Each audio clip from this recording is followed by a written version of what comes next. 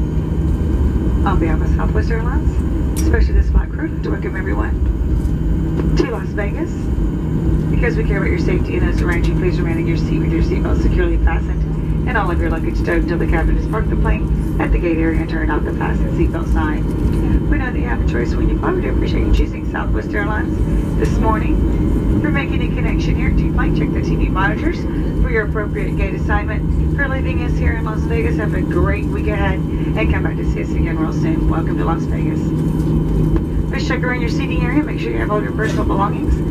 Check in your seat back pocket, around the floor, around your seating area.